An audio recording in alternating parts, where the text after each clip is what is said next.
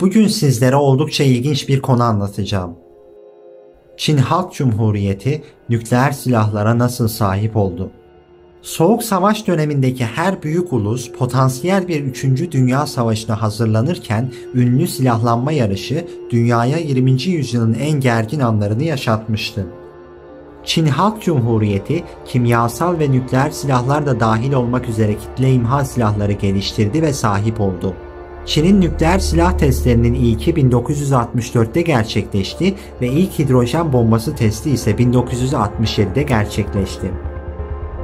Testler Çin'in kapsamlı test yasağı anlaşmasını CTBT'yi imzaladığı 1996 yılına kadar devam etti. 1984'te ise Çin biyolojik ve toksin silahları sözleşmesine katıldı ve 1997'de kimyasal silahlar sözleşmesini onayladı. Peki şimdi biraz daha eskiye gidelim. 1964 yılında Çin, Amerika Birleşik Devletleri, Sovyetler Birliği, İngiltere ve Fransa'dan sonra nükleer silahlara sahip 5. ülke olmuştu. Çin'in ulusal atom bombası projesi çoğunlukla bağımsız olmasına rağmen Sovyet desteğinden ve Batı kaynaklarından büyük ölçüde yararlandı. Biraz daha geriye gidelim. Yıllar süren iç savaştan sonra komünist lider Mao Zedong 1949'da Çin Halk Cumhuriyeti'ni kurmuştu. Kısa bir süre sonra Mao, Çin-Sovyet Dostluk ve İttifak Anlaşması'nı imzaladıkları Moskova'daki Sovyet Başbakanı Joseph Stalin'i ziyaret etti. Çin'in Sovyetler Birliği ile ittifakı kısa ömürlü olsa da ilk yıllarında Çin nükleer programının başarısında çok büyük bir etkisi olmuştu. Çin, Kore Savaşı'ndan hemen sonra nükleer enerjinin askeri potansiyelini araştırmaya başladı. Çin'in nükleer silah satın alma çabaları 1950'lere kadar uzanıyor. Sovyetler Birliği 1951 ve 1957'de imzalanan anlaşmaların ardından Çin nükleer silah programına önemli ölçüde yardımcı oldu. Nükleer enerjiyi silahlandırmak için gereken teknolojik bilginin çoğu Sovyetler Birliği'nden geldi. Aslında Sovyetler Birliği Çin'e sadece nükleer doktorları değil, aynı zamanda nükleer silah oluşturmak için gereken tüm araçları, ekipmanları ve malzemeleri de vermişti. Araştırmaların çoğu Beijing şehrindeki Ulusal Fizik ve Atom Enerjisi Enstitüsü'nde gizli olarak yapıldı. Çin devleti kendi içindeki uranyum yataklarının keşfiyle Çin'in Lanzhou kentinde nükleer silahlarda kullanılacak olan uranyumun kalitesini arttırmak için özel olarak yeni bir fabrika inşa etti. 1959 yılında Çin ile Sovyetler Birliği arasındaki ilişkiler Nikita Khrushchev'in Çin'e artık nükleer silah üretimi için gerekli malzemeleri veya bilim insanlarını tedarik etmeme kararı nedeniyle biraz gerilemeye başladı. Bu kararın Khrushchev tarafından alındığına inanılıyor. Çünkü Sovyetler Birliği sadece mümkün olduğunca çok kaynağa ihtiyaç duymakla kalmadı. Aynı zamanda Çin'in bu teknolojiyi onlara karşı kullanmayacağından emin olmak istediler ve bunu yaparak Çin'in ilk nükleer silahını geliştirmesi 3 yıl daha uzamış oldu. Ancak o yıl Sovyet lideri Nikita Khrushchev, Çin Halk Cumhuriyeti Devlet Başkanı Mao'ya ABD ve İngiltere ile silah kontrolünü tartışmayı planladığını söyledi. Çin zaten Khrushchev'in Stalin sonrası barışçıl bir arada yaşama politikasına karşı çıkmıştı. Sovyet yetkilileri Çin'e Sovyet koruması altında olacaklarına dair güvence vermesine rağmen anlaşmazlıklar ortaya çıktı ve Çin-Sovyet ilişkileri daha da kötüye gitmeye başladı. Haziran 1959'da iki ülke askeri ve teknoloji işbirliği anlaşmasını resmen sona erdirdi ve 1960 yılının Temmuz ayında Çin nükleer programı ile ilgili tüm Sovyet yardımları aniden sona erdi ve tüm Sovyet teknisyenleri programdan çekilmek zorunda kaldı. Khrushchev'in bir Sovyet nükleer bombasının prototipini isteyen Çinli generallerle de tartıştığı, böylece silahı daha iyi anlayabilecekleri ve kendi gelişim süreçlerini hızlandırabileceklerinden endişe ettiği söyleniyor. Sovyetler bölgedeki liderlik vasıflarını kaybetmemek için kendi müttefiklerini bile sakatlamak zorunda kalmışlardı. Çin için 1964 yılı neredeyse 14 yıllık çekişmelerin başarılı bir şekilde geliştirilen bir atom bombasının ilk prototipiyle ödediği çok özel bir yıl oldu. O zamana kadar dünyadaki tüm büyük ülkeler ekonomik güçlerine veya askeri boyutlarına göre değil, sahip oldukları atom bombalarının veya nükleer savaş başlıklarının sayısına göre sıralanıyordu. ABD'li yetkililer bu testin yapılmasına çok şaşırmadılar.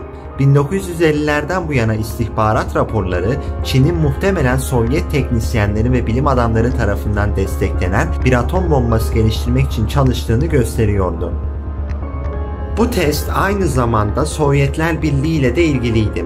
Sovyet Rusya ile Komünist Çin arasındaki ideolojik ve stratejik konularda bölünme 1964 yılına kadar önemli ölçüde genişlemişti. Çin'in nükleer yetenekleri edinmesi sadece iki ülke arasındaki gerginliği daha da tırmandırmıştı. Gerçekten de bu test Sovyetlerin nükleer silahların yayılmasını durdurmak için daha fazla çaba sarf etmeleri için bir teşvik oldu. 1968'de Amerika Birleşik Devletleri ve Sovyetler Birliği nükleer silahların yayılmasını önleme anlaşmasını imzaladı. Sovyetlerin Çin'in nükleer kuvvetini sınırlı görmek istemeleri şaşırtıcı değil. Çünkü ilk Çin orta menzilli füzeleri Rusya'yı da menzili içerisine alıyordu. Soğuk Savaş nükleer silahlanma yarışı bu test sonucunda çok daha karmaşık hale gelmişti. 16 Ekim ilk Çin atom bombasının testinin yapıldığı gündü. O zamanlar Operasyon 596 olarak adlandırılan gizli bir operasyondu bu. Bombanın patlaması Çin'in batı Sincan eyaletindeki Gobi çölünde bulunan ve İpek yoluna oldukça yakın olan Lopnur'da gerçekleşti. 17 Haziran 1967'de ise Çin Halk Cumhuriyeti TESNO 6 kod adı verilen ilk termonükleer bomba yani hidrojen bombası testini de gerçekleştirmişti. Patlama ülkenin kuzeybatısındaki Lopnor test sahasının üzerindeki atmosferde 3.3 megaton verimiyle gerçekleşmişti. Test 16 Ekim 1964'te ülkenin ilk nükleer patlamasından sadece 32 ay sonra yapıldı. Buna karşılık Amerika Birleşik Devletleri 1945'te ilk nükleer silahı ateşledikten sonra 1951'de dünyanın ilk termonükleer patlamasına kadar 86 ay hidrojen bombası teknolojisi geliştirmek zorunda kalmıştı. Sovyet Rusya için bu süre 75 ay, İngiltere için 66 ay ve Fransa için ise 105 aydı. Tesno 6'dan 7 yıl sonra komşu Hindistan devleti ilk nükleer patlaması 1974 yılında gerçekleştirdi. 1969 yılında ise Çin-Sovyet sınır çatışması nedeniyle Sovyetler Birliği ile Çin arasındaki ilişki daha da kötüleşmişti. Ancak Sovyetler Birliği Çin ile savaş başlatmanın bir avantajı olmadığını da biliyordu. Toparlayacak olursak Çin'in 45 nükleer testinin sonuncusu 29 Temmuz 1996'da yapıldı. Bu testten sadece 2 ay sonra kapsamlı nükleer test yasağı anlaşmasını Çin devleti imzaladı. Anlaşma dünya çapında tüm nükleer patlamaları yasaklamıştı. Nükleer test yasağı anlaşmasını Hindistan, Pakistan ve Kuzey Kore Demokratik Halk Cumhuriyeti henüz imzalamadı ve onaylamadı. Jun Takada tarafından yapılan modern araştırmalar Sincan bölgesinde yapılan tüm nükleer testler nedeniyle bu nükleer test alanının 1986'dan bu yana Çernobil nükleer santralinin patlamasından daha fazla radyoaktif hale geldiğini göstermektedir.